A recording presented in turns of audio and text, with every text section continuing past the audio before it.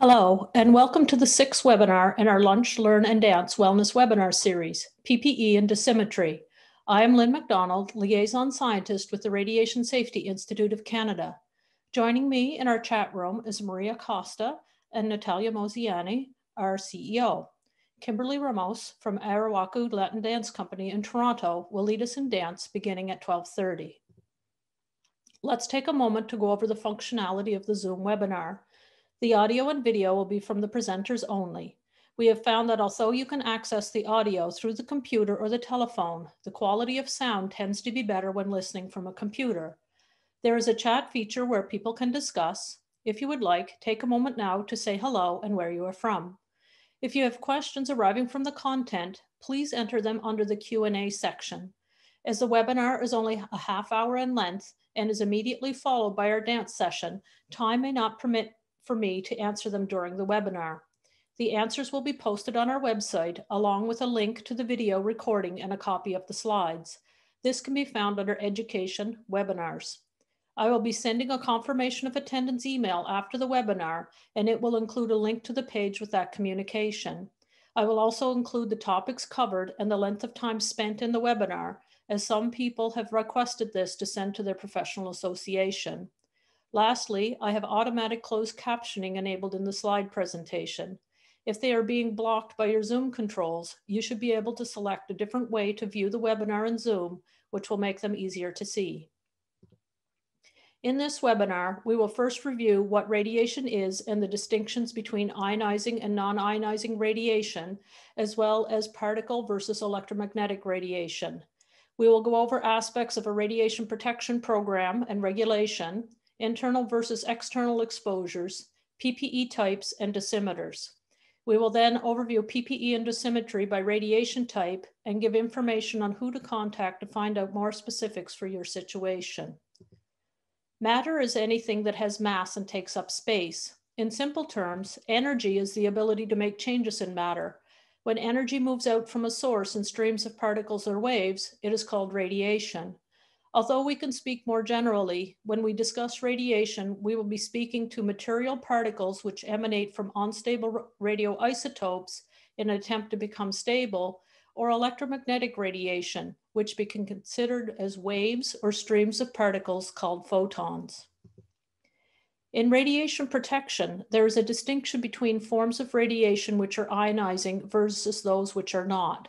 Non-ionizing radiation does not have enough energy to remove electrons from their orbits in the atom or molecule to which they belong.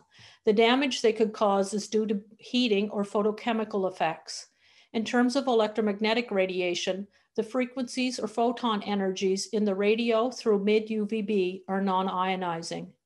Ionizing radiation does have enough energy to remove electrons from their orbits. The possible health effects also include stochastic effects, which include an increased risk for developing cancer. As well, they may cause deterministic and tissue effects. For more information on health effects, please see the webinar, Health Effects of Exposure to Radiation.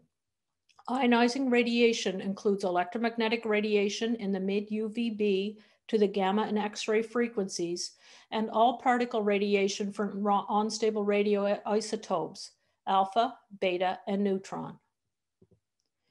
What happens when radiation hits matter depends upon how it interacts with the material on a molecular scale. This in turn depends upon the properties of the radiation. When radionuclides eject particle radiation to become more stable, they become in one of three types, alpha, beta, or neutron.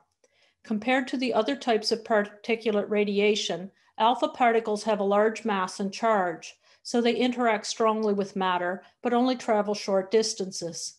Beta particles are much lighter in comparison and carry half the size of charge. They travel farther than alpha, but not as far as neutron, X-ray, or gamma. Neutrons have a mass that is about a quarter of that of an alpha particle, but about 2,000 times larger than a beta particle. Because of their lack of charge, they pass very easily through materials. Because of how they interact with matter, they can be very damaging, can cause secondary radiation, and are the only type of naturally occurring radiation that can make a material radioactive. The electromagnetic spectrum ranges from radio through gamma. If you go from low energy photons to high energy photons, mid UVB and above are ionizing. Gamma and X-rays are in the same energy range of the electromagnetic spectrum. However, X-rays are created with machines, while gamma comes from the nuclei of unstable radioisotopes. We do not make this distinction for other parts of the electromagnetic spectrum. Visible light from the sun, for example, is not given a different name than visible light from a light bulb.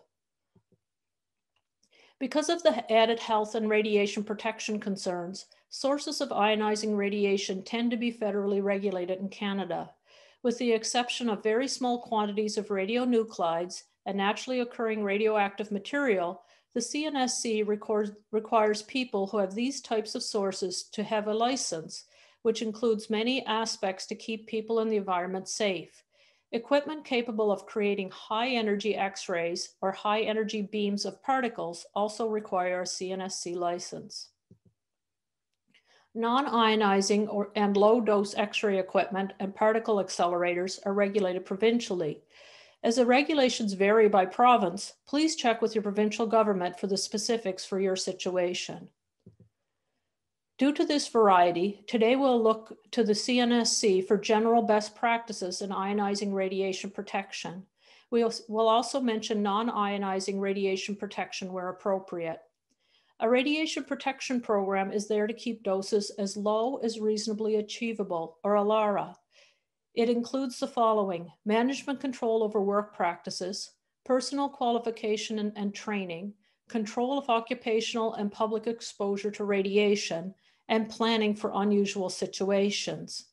How does do shielding and dosimetry fit into these expectations? First, let's distinguish between internal and external radiation exposures. With internal exposure, the radiation source is inside the body. With current technology, internal exposures are only caused by radionuclides that are inside the body of the person receiving the radiation dose, not from human made equipment. With external exposure, the source of radiation is outside the body, this distinction is important when it comes to both PPE and dosimetry. Reducing external exposure is much easier than reduce, reducing internal exposure once the radionuclide enters the body. The three radiation protection principles for reducing external exposures are time, distance, and shielding. By reducing the time spent in the radiation field, keeping as much distance as possible away from the source of the radiation, and by using shielding to block or reduce the strength of the field, doses can be kept low. Different types of radiation require different types of shielding. Alpha particles can be stopped by paper or the dead surface of layer of skin. It is therefore only a concern if it gets inside you. Beta particles can travel through paper, but can be stopped with plastic or aluminum. Neutrons are highly penetrating and must be shielded with materials that have light nuclei.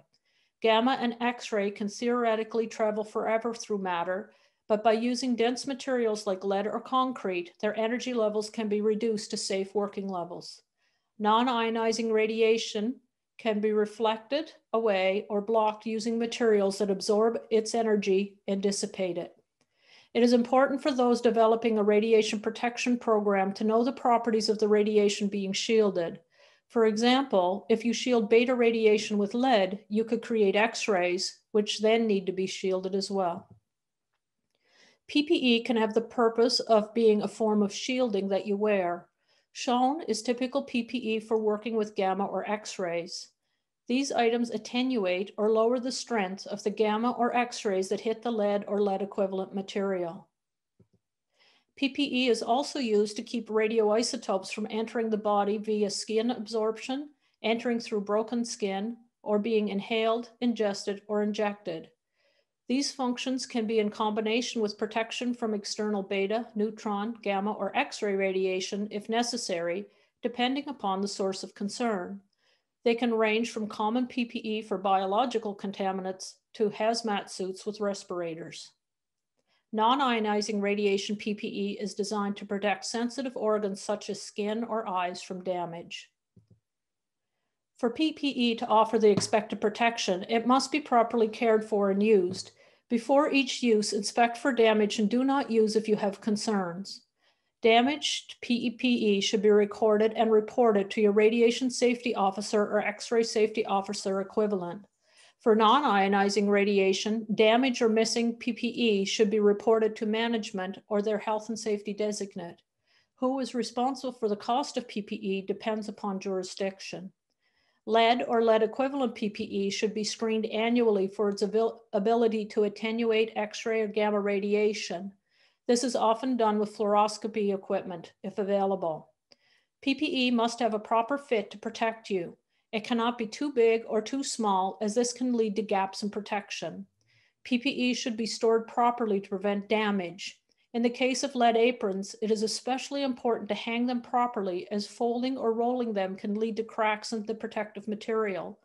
PPE should be stored in a cool, dry place.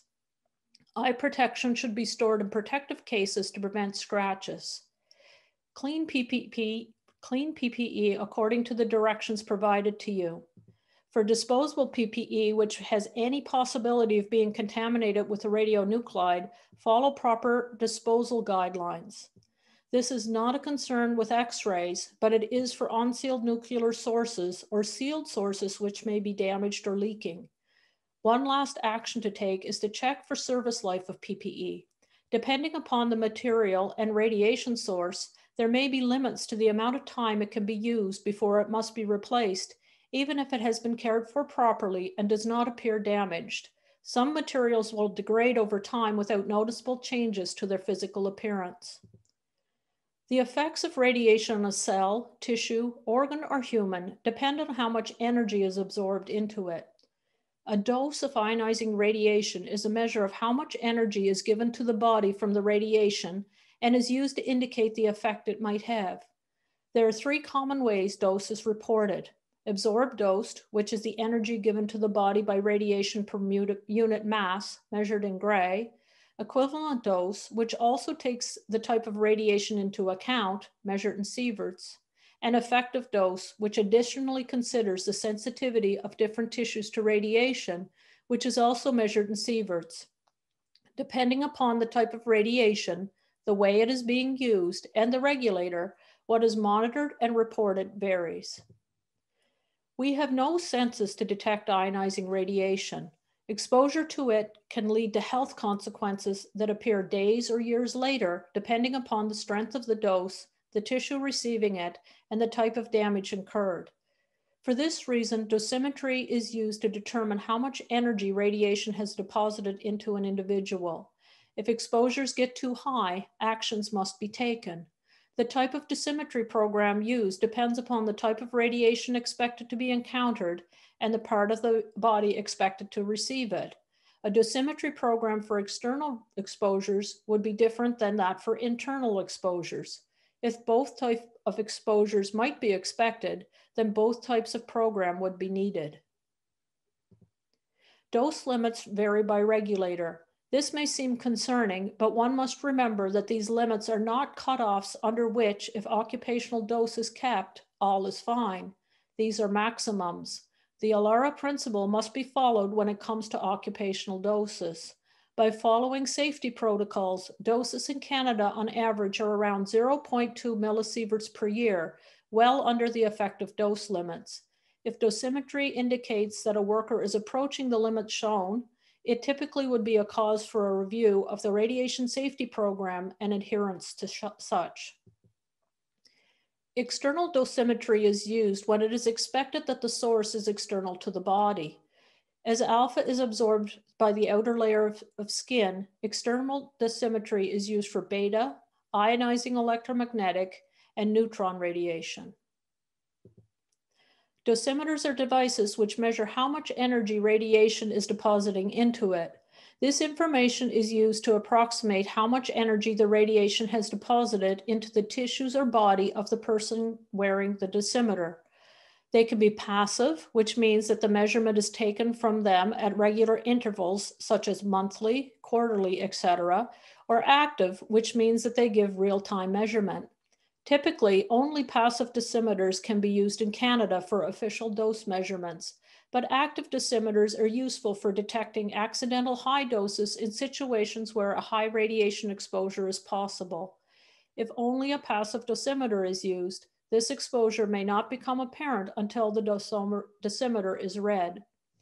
Depending upon the workplace, dosimeters can be static sample collection for the work area with worker doses extrapolated based on the time spent in the area and other factors, or personal. Personal dosimeters should not be used for workplace monitoring. Different designs of dosimeters have different strengths and weaknesses.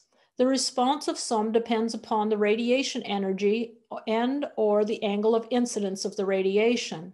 Most work best for specific types of radiation. Some, if not read in a timely manner, will become more difficult to read due to fading. Some respond more linearly than others to the dose, which means that the signal being read is more consistent despite the amount of energy being deposited. Some have lower minimum doses which can be read. Some can only be used once, while others can be used multiple times. This leads to the fact that some can save a dose over time, while others cannot. Another consideration is how easy it is to wear and how durable or rugged they need to be. The expectation for ruggedness and durability in a hospital setting, for example, is very different than for in a uranium mine. There are a wide variety of designs for dosimeters too many to cover in a half hour webinar. We will therefore overview the most commonly used dosimeters in Canada. TLD stands for thermoluminescent dosimeter. Each TLD contains a detector or chip. When ionizing radiation passes through the chip, the energy it deposits will cause electrons to be ejected. These electrons become trapped in impurities called doping centers. The electrons stay in a high energy state until the chip is placed in a reader and heated. This process causes electrons to return to the preferred lower energy state by releasing a photon of visible light. The reader detects the emitted light and create what is called the glow curve. Analysis of the glow curve determines the dose. TLD dosimeters have different types of materials used as chips and come in a variety of formats, including badges, bracelets, and rings. Bracelet and ring dosimeters are used to measure dose to the extremities. TLD badges must be calibrated in order to be accurate. They are subject to signal fade over time. They are linear over a wide range of radiation energies. They can be reused as the previous reading is zeroed out at the end of the reading process. This also means that you cannot store the reading on the dosimeter. Reading the dosimeter can be done on site if the company has the equipment and expertise to do so. OSLD stands for optically stimulated luminescent dosimeter. They work in a similar fashion to TLDs, except the light curve is created by subjecting the chip to light instead of heat. Because of this, they are not affected by typical ambient temperature variations. They are more sensitive to low levels of radiation. OSLDs can be read more than once, stored for several years as an archival record, or reset so they can be reused. They are, however, more expensive than TLDs. They can also be read on site if the expertise and reader are available. DRD stands for Direct Reading Dosimeter. A DRD provides real-time measurement of radiation dose. They do this using either a diode or a Geiger-Müller detector. While in almost all cases their measurement cannot be used as a person's official dose record, they are useful to give real-time monitoring for persons who work in strong radiation fields. Many models have alarms which can be set to bring attention to the fact that the person is in an area with a high level of radiation.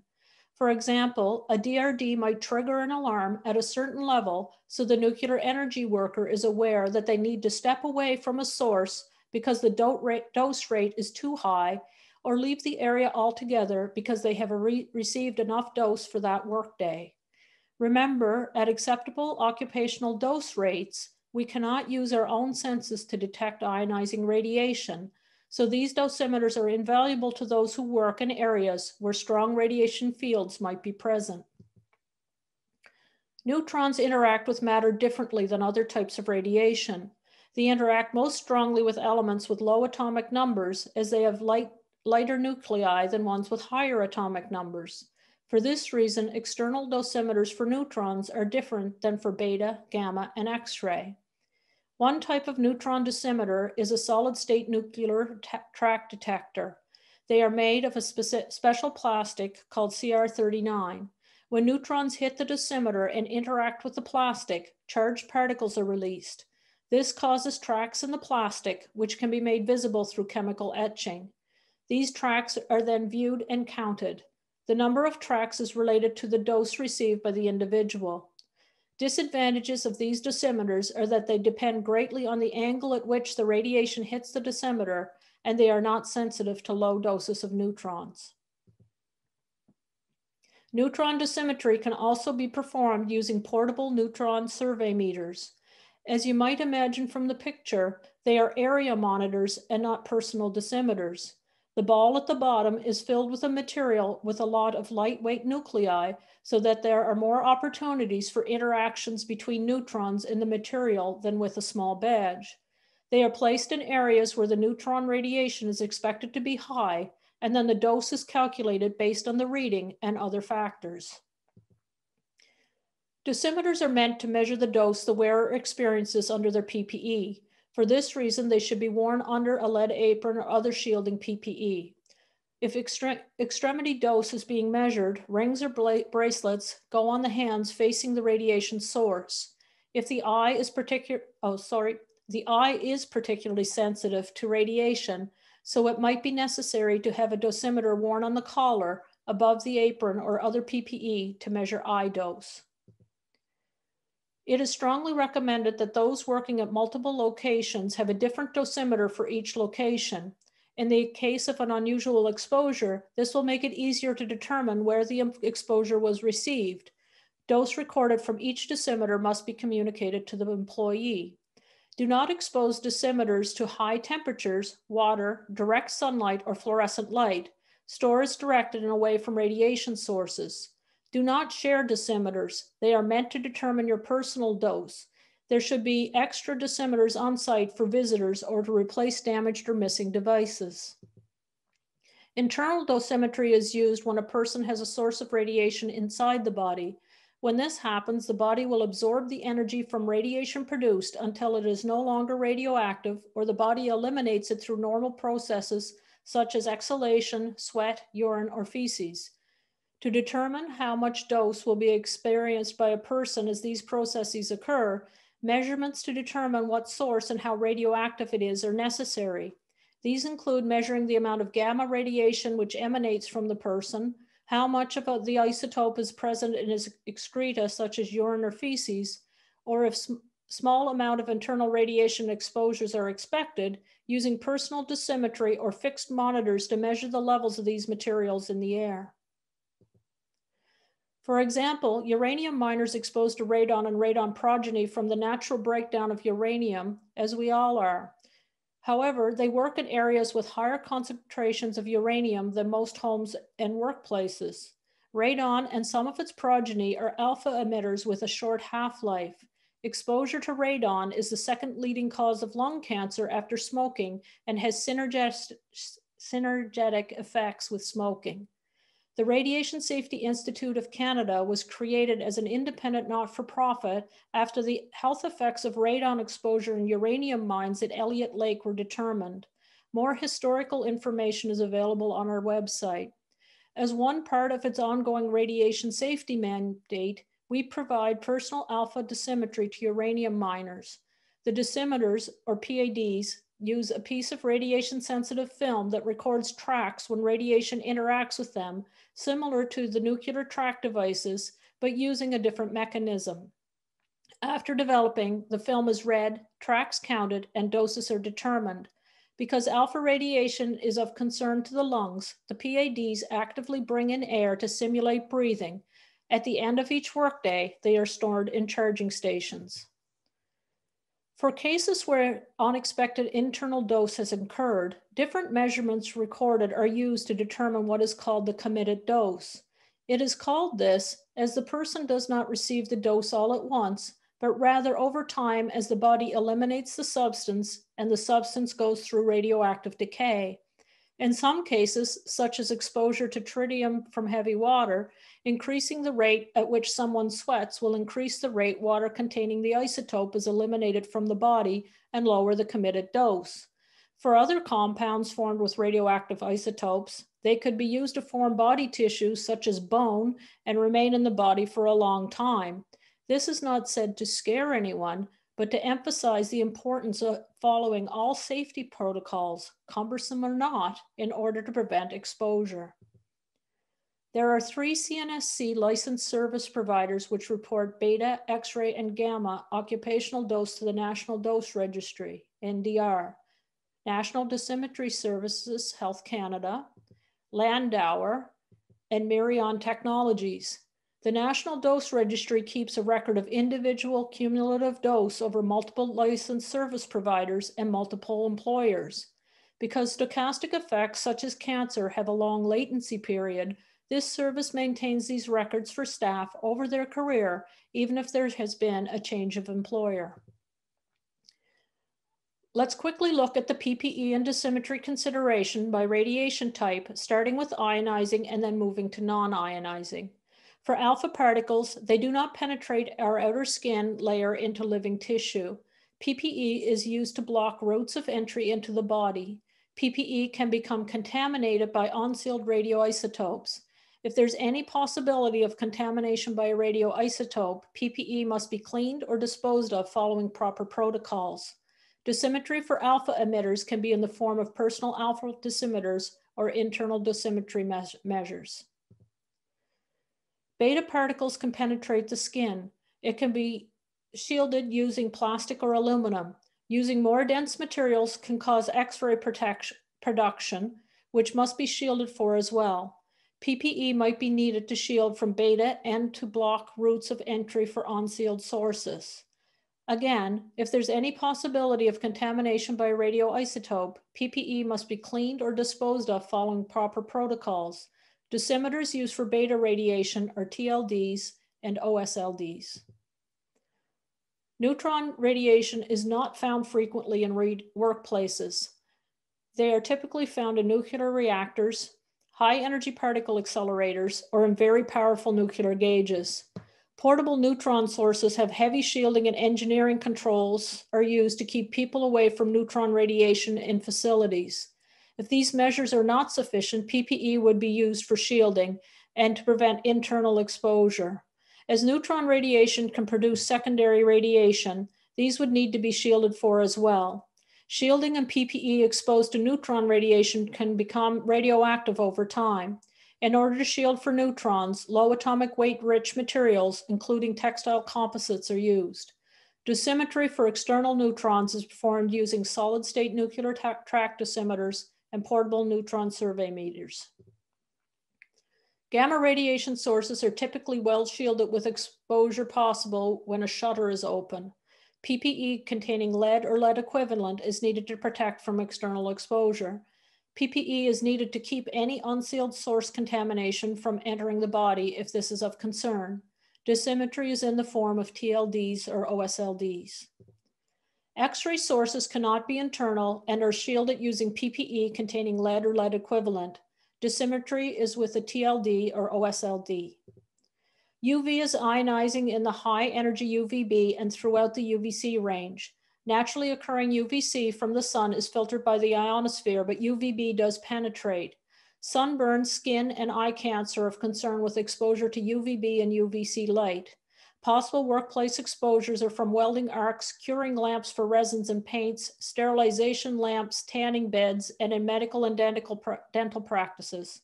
PPE includes welding helmets, gloves, and coveralls, sunscreen with SPF, glass or plastic shields, and eyewear designed for this purpose. Dental curing lamps may also be in UV or visible blue spectrum. Intense blue spectrum light can cause retinal degeneration, so perfect, protective eyewear or shields are used as PPE. Dosimeters for UV exposure are commercially available, but depending upon the jurisdiction, they may not be required. More information on UV radiation will be given in an upcoming webinar. Laser radiation is not ionizing, but it can bl still blind or burn you badly. It can also generate airborne hazards or cause a fire. Depending upon the energy level, PPE is in the form of eye protection, protective clothing, and or air filtration. More information on laser protection will be provided in an upcoming webinar. Because it is non-ionizing, dosimetry is not applicable. Infrared sources damage tissues due to heating effects. If necessary, PPE is designed to protect from heating and may need to be flame resistant or retardant. Dosimetry is not applicable because it is non-ionizing. We have gone through a great deal of information, but there's a great deal more available on the subject. Unless you are the person responsible for setting up and implementing a radiation safety program, the additional information is likely excessive for what you need to know to keep yourself safe. We do hope, though, you remember the following. PPE and dosimetry are specific to the type of radiation and the situation in which it is being used. They are part of a complete radiation safety program. Procedures developed are not arbitrary, but have been developed with your protection in mind. If you're unsure what is expected of you, how to do it properly, or why it is important, please ask for help from the people responsible for your radiation safety in your workplace. To find out more information particular to your workplace duties, start with the person in your workplace responsible for your health and safety with respect to radiation. Depending upon the regulator, workplaces where there are, are potential exposures to ionizing radiation will have a radiation safety uh, officer, if regulated by the CNSC, or a safety officer responsible for X-ray safety if provincially regulated. The title of the X-ray safety officer varies by province. For non-ionizing radiation, you should talk to your joint health and safety committee. If your workplace is too small to have a joint health and safety committee, talk to your employer. If you wish to explore the radiation protection legislation in Canada, Canadian Legal Information Institute website at canlii.org has all current and most past legislation searchable in many different ways. That being said, unless you are very used to reading these documents, they're not easy to navigate including a, included at the end of this presentation, which will be printed as PDF and posted to our website, are several documents from the CNSC and the International Atomic Energy Agency with respect to PPE and dosimetry. The Radiation Safety Institute of Canada is also here to support any of your questions related to radiation safety, whether it be at work or at home. Founded in 1980, the Radiation Safety Institute of Canada is an independent not-for-profit organization offering a variety of informational, consultation, and laboratory services focused on radiation safety. We hope you have enjoyed this introduction to PPE and dosimetry. Remember, by having strong radiation protection regulations and following safety protocols, we can use radiation safely in our workplaces.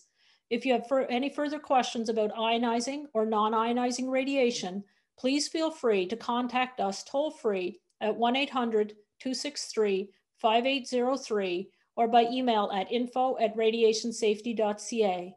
Visit us on the web at www.radiationsafety.ca or find us on Facebook.